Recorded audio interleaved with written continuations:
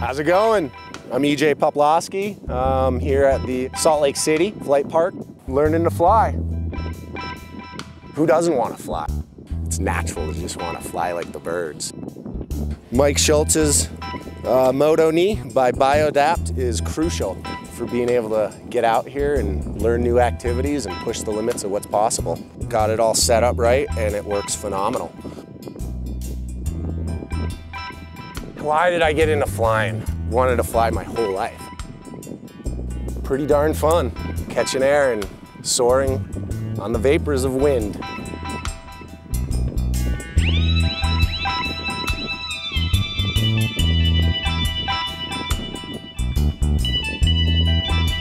Without this knee, I wouldn't be out here flying.